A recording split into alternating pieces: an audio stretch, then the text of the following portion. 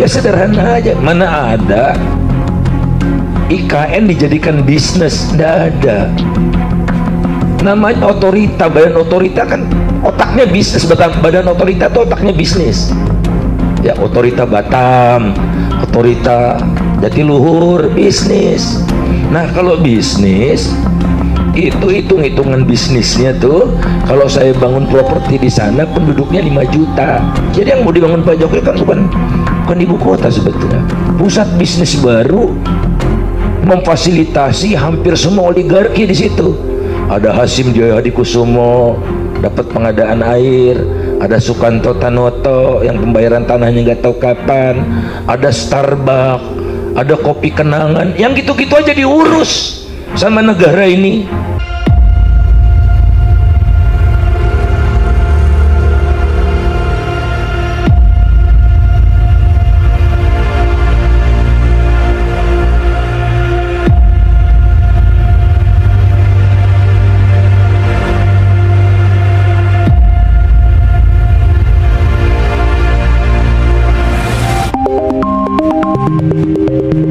Sejumlah artis dan influencer diajak Presiden Joko Widodo untuk meninjau IKN, di antaranya Raffi Ahmad, Nagita Slavina, Atta Halilintar, Aurel Hermansyah, Gading Martin, dan masih banyak lagi. Hal itu terlihat dalam unggahan video di YouTube Sekretariat Presiden pada Senin 29 Juli 2024. Namun, dari sejumlah influencer tersebut, tak satupun influencer lokal yang turut diajak Jokowi. Ya, jangan se naif itu gitu. Menurut saya udah keterlaluan makanya saya bilang Pak Jokowi itu yang dia rusak bukan karena korupsi zaman Pak Harto, KKN. Yang dia rusak ini fondasi bernegara. Jadi harus dilawan. Harus dilawan. Cuma udah bisa lihat lah. Ada yang beres nih lembaga-lembaga negara. Polisi kayak begitu ya enggak kejaksaan kayak begitu. Maaf saya terlalu emosi. IKN tuh alot. Ya sederhana aja. Mana ada? IKN dijadikan bisnis tidak ada. Namanya otorita badan otorita kan otaknya bisnis. Badan, badan otorita itu otaknya bisnis.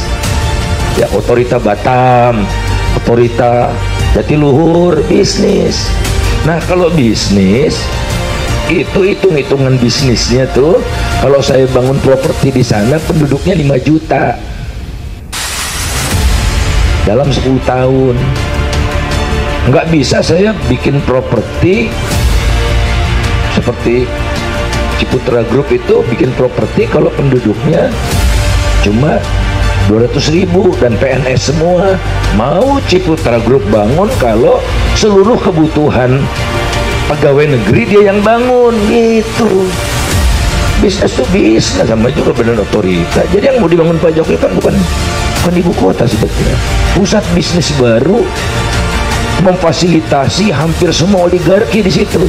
Ada Hasim Jaya Kusumo dapat pengadaan air ada Sukanto Tanoto yang pembayaran tanahnya nggak tahu kapan ada Starbucks ada kopi kenangan yang gitu-gitu aja diurus sama negara ini. Starbucks kopi kenangan gitu. Ini apaan gitu? Ya jadi insya Allah Presiden akan datang tidak akan melanjutkan ibu kota baru ya bukan tidak akan melanjutkan ya. Akan menunda untuk sementara. Kami bersepakat Indonesia dan RRT untuk terus mendorong investasi di Indonesia. Dan secara khusus tadi malam saya minta agar yang kawasan industri di Kalimantan Utara diberikan dorongan dan yang kedua kerjasama untuk di dan investasi di ibu kota Nusantara juga diberikan dorongan dan presidensi menyampaikan beliau concern dan akan memberikan dorongan ke arah yang saya minta. Di luar itu juga tetap akan didorong semuanya. Khusus Indonesia, beliau menyampaikan khusus Indonesia.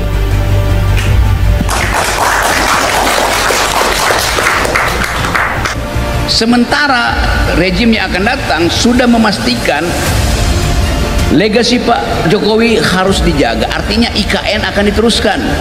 Kebutuhannya kira-kira 450 sampai 500, 500 triliun untuk IKN. Pak Prabowo harus penuhi janji makan siang gratis. Berapa jumlahnya? 500 triliun. Udah satu, udah 1000 triliun. Oke, kita hitung aja secara gampang-gampang. Bayar cicilan uang 500 triliun. Udah sat 1500 triliun. Bayar cicilan pokok juga segitu udah 2000 triliun. Perintah konstitusi alokasikan untuk pendidikan 500 triliun. Udah 2500 triliun. Bisa nggak itu kita capai? bisa. Kalau pendapatan kita itu 3500 pendapatan kita cuma 1800 triliun. Basis pajaknya nggak meluas. Rasio pajak kita nggak sampai dua digit sekarang. Apalagi kita lihat keadaan masa depan di mana global supply chain itu akan terganggu. Karena krisis politik di Asia Pasifik Timur Tengah dan di Eropa Ukraina jadi kalau kita hitung dari sekarang kita harus pesimis akan berantakan negeri ini. Lihat dolar misalnya berapa sekarang? 16.000 16.200 segala macam. Itu menunjukkan bahwa seluruh cadangan devisa kita udah dipakai untuk membackup rupiah. Nggak nggak turun-turun juga dolar. Udah habis cadangan devisa Bank Indonesia tuh dolarnya nggak turun-turun. Karena Amerika sedang mempersiapkan perang karena itu semua dolar dipanggil pulang mudik sama paman Sam jadi sebetulnya yang saya mau terangkan dari kampus yang kecil ini kita bisa baca perkembangan global. Kalau ada kemerdekaan untuk berpikir tuh tapi anda punya kemerdekaan berpikir tidak ada partai yang ingin meminta anda berpikir alternatif. Karena gak ada partai oposisi. Jadi begitu kompleks kita kita seolah dibuai bahwa oke okay, akan ada makan siang gratis. Padahal kita tahu itu omong kosong akan jadi. Boleh makan siang gratis saya batalkan IKN tuh. Bisa dari mana sumber-sumber itu akan dipakai? Ya, diambil lagi dipotong lagi ke gaji guru yang yang kata Pak Prabowo akan ditambahin 2 juta itu pasti ayo agak absurd sebetulnya kita bayangin. Sebagai janji iya tapi kalkulasi rasional tidak akan sampai di situ. Dengan kata lain ambisi politik batasnya adalah APBN